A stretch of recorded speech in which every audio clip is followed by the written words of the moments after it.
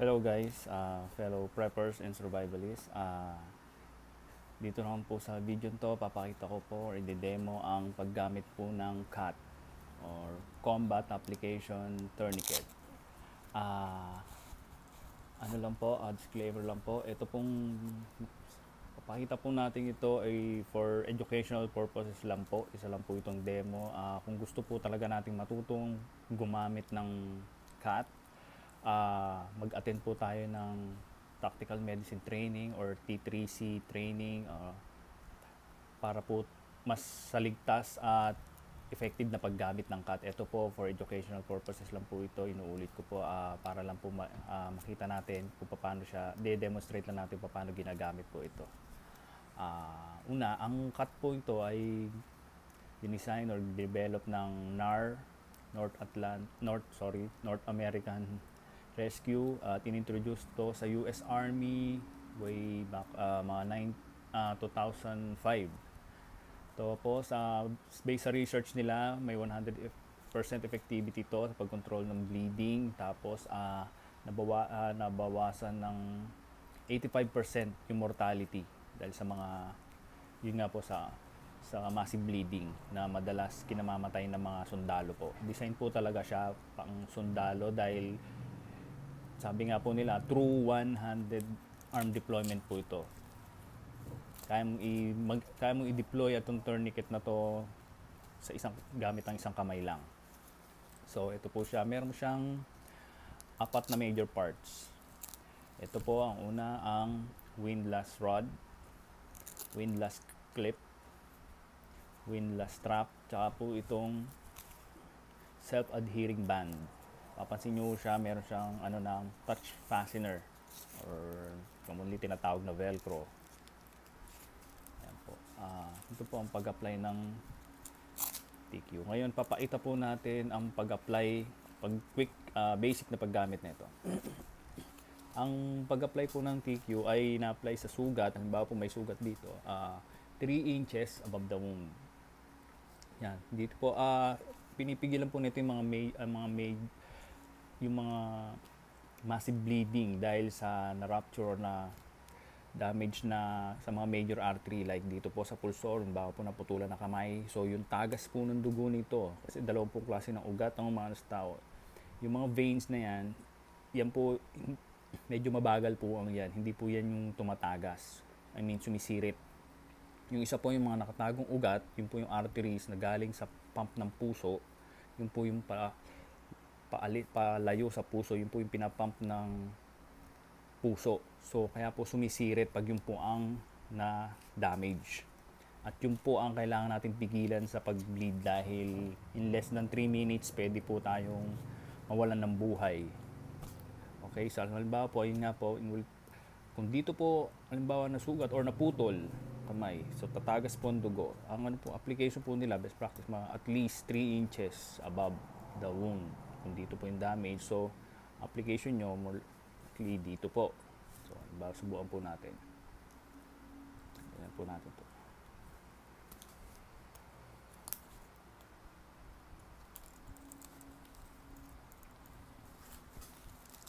Ito po, halimbawa po dito po yung sugat at tumatagas po ng nalaslasan ng pulso, tumatagas po yung dugo. Nakita po natin, ang mag-indicate po, isa po siyang sumisirit at bright red po ang kulay nung dugo na galing sa artery. Nag-apply po niya, kung 3 inches po, dito po siya. Ayan, iwakan nyo lang po sa maigpit, higpitan. Higpit na makakaya nyo. Pag na, tapos dikit po, fastener, sampu ang strap at iikot. Ito po yung windlass. Ayan po, papansin nyo. Ayan, lalabas na po. Isang ikot pa lang po. Talagang makikita nyo pong hinigpitan na. Ayan. Uh, medyo mas- masakit din po ito. Ang, yun po, ang pag-twist po nito, dire-diretso lang po hanggat nakikita nyo pong sumisirit ang dugo. Huwag nyo pong titigilan. Parang chinochoke po natin yung artery. Pero dito po dahil sa demo lang, hindi ko na po yan, dahil medyo may, masakit din po ito. Ayan. Tapos po pag na, nakita nyo pong tumigil na, or na-choke nyo na, nasakal nyo na yung artery, ilock nyo na po dito at sa clip at ilock na, ilagay na po itong windlass strap para po ma-secure.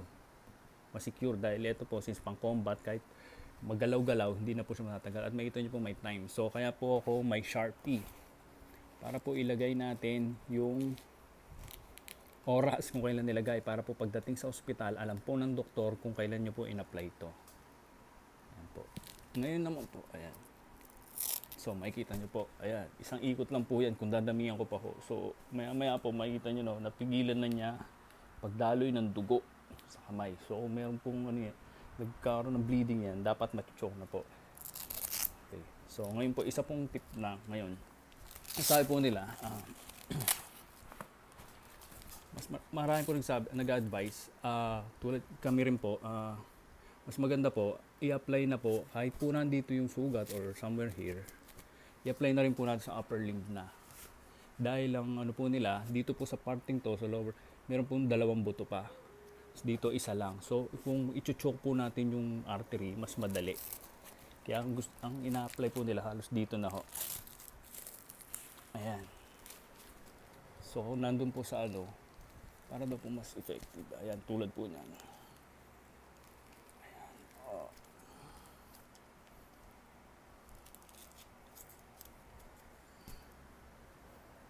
Ayan po. Nakita nyo po ang effect. Kung gaano po ka kahigpit mag-lock ang cut tourniquet. Ngayon po, papakita naman po natin kung paano naman po siyang i-apply sa pa sa legs pag may injury po sa paa. Okay po, saglit na po.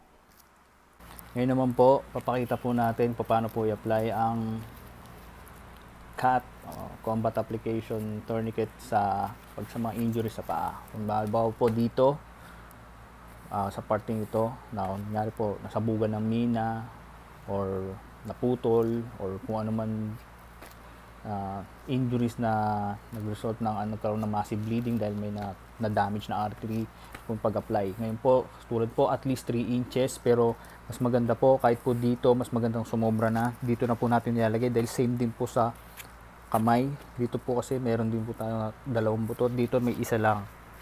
Kaya mas madali po machuchoke. So, ito po ang pag-apply.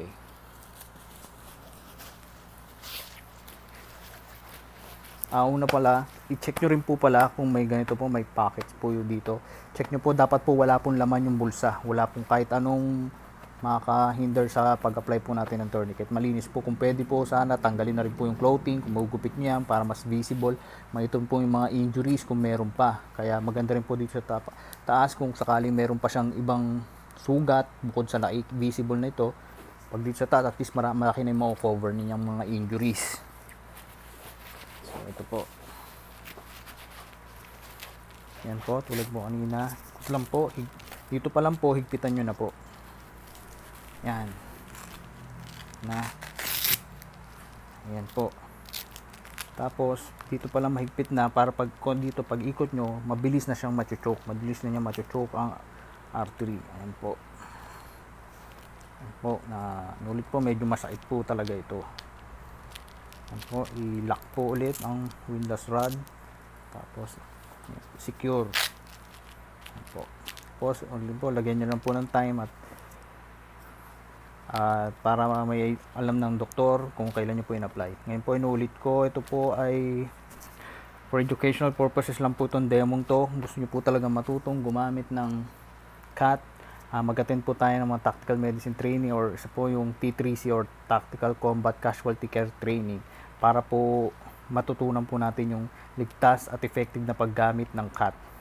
Uh, hanggang dito na lang po ulit. Maraming salamat po sa panonood. Ingat po kayong lahat.